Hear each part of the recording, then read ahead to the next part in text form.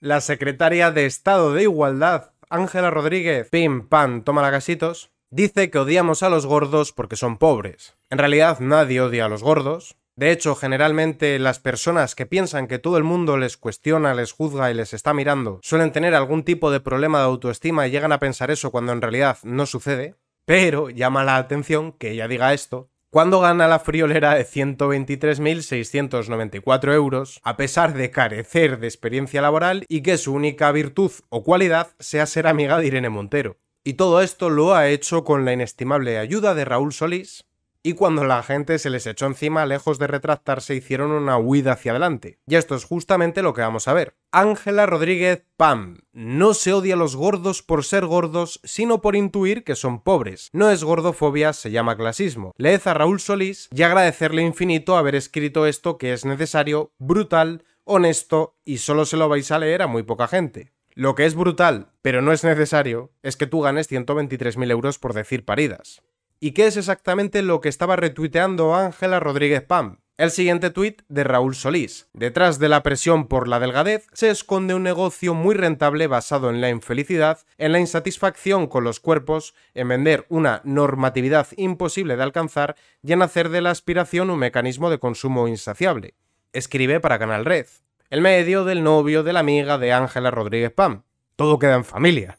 Primero dicen que estar, vamos a decir, delgado es imposible cuando en realidad es tan sencillo como o bien quemar más calorías haciendo deporte o bien ingerir menos cuidando lo que comes. Pero en segundo lugar, lo que llama la atención es que digan que los gordos son pobres. Veíamos que desde luego Ángela Rodríguez Pan no lo es. Pero si hacemos una búsqueda en imágenes de empresario capitalista, aparecen varias imágenes y viñetas de propaganda de izquierdas y vamos a ver cómo se representa a los empresarios capitalistas. Como podemos ver de forma inequívoca se les representa como a personas obesas. Esta imagen que tengo sobre mí es paradigmática, aparecen varias personas delgadas representando al proletariado, a los pobres, mientras que el empresario es gordo. Lo mismo se podría decir de esta otra viñeta, o de esta, donde es todavía más claro el ejemplo. Como podemos ver, es la izquierda la que ha intentado vincular la obesidad a algo malo y a la derecha al capitalismo y a los empresarios, mientras que vincula la delgadez a ser de la clase trabajadora, dando a entender que los empresarios están gordos porque se están quedando con la plusvalía de los trabajadores. Pero en segundo lugar, cuando las ONGs intentan apelar a las emociones para que les des dinero, supuestamente para las personas afectadas, generalmente emplean imágenes de niños, que me gustaría saber si cuentan con el consentimiento de los padres, extremadamente delgados y generalmente de África. No es que se vincule la pobreza a la obesidad, es que es todo lo contrario. Pero yo os decía que Ángela Rodríguez Pan, cuando todo el mundo se le echó encima, no se había retractado, sino que había hecho una huida hacia adelante. Vamos a ver algunos comentarios y esa huida. Paula comenta, entonces en Podemos odiáis a los delgados por ricos o esto cómo va? Por su parte, el youtuber David Santos agrega, pan cobras 123.649 euros. ¿Qué estás diciendo? Verónica la Fea debe confundir los billetes con donuts y se los come, igual eso es lo que intenta decir. Y Ransey Ferrero agrega, ganas más que el presidente del gobierno, pero como tienes tanta cara dura, y si hay que intuir algo, es la falta de disciplina. Calla tu mes, ignorante y vaga. En las imágenes, Amancio Ortega y Carlos Slim. Y además agrega un artículo de la BBC cuyo titular es Confirmado cuanto más rico más gordo. Las economías emergentes se enfrentan a un problema que pocos habían visto, la obesidad. Y todos sabemos que en Estados Unidos el porcentaje de obesos es mucho mayor que en Somalia. Sin embargo, Raúl Solís y Ángela Rodríguez Pan continúan con su ida hacia adelante y agregan un palabra que veremos que es una nueva forma de discriminación que se han inventado, la gordofobia.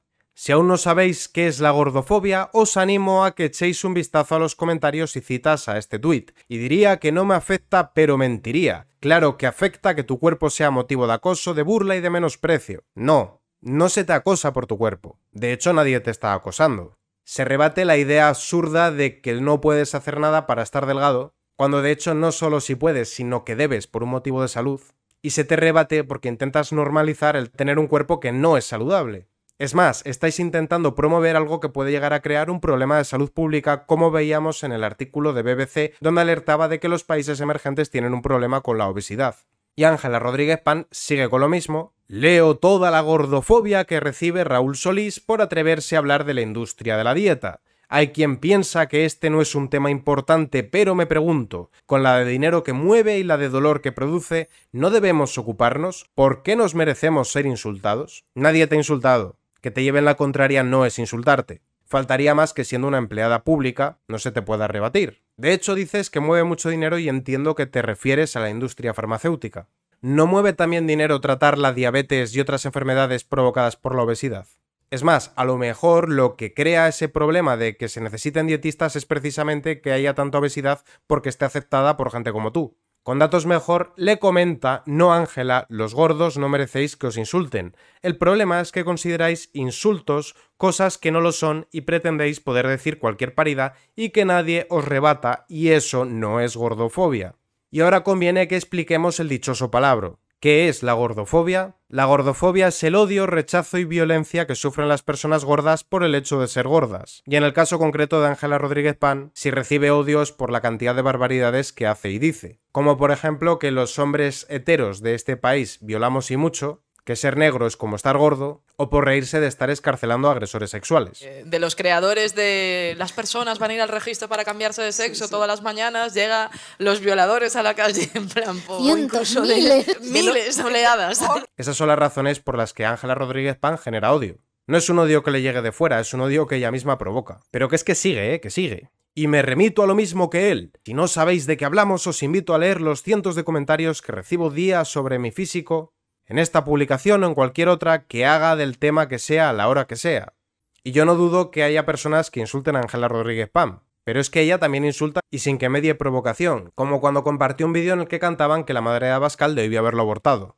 Y ojo que es que no es la primera vez que lo hace. Ángela Rodríguez Pam lamenta que no haya gordas en el Congreso. Cerca de 400.000 personas sufren obesidad severa en España y causa más de 2,8 millones de muertes al año en el mundo escribe María Fernández para el debate. Ha vuelto a suceder, la secretaria de Estado de Igualdad y Violencia de Género, Ángela Rodríguez Pan, ha anunciado en un podcast que solo hay hombres gordos en la Cámara, y ninguna mujer. Esta reflexión ha surgido después de que la número 2 de la ministra de Igualdad, Irene Montero, asegurase que la insultan por ser gorda y fea. Marimer le ha respondido que no, Raúl Solís y Ángela Rodríguez Pam, que no es porque seáis gordos, que a la gente normal nos da lo mismo gordos o flacos, altos o bajos, negros o blancos. Lo que nos importa es que la gente sea buena persona y el problema es que vosotros no lo sois.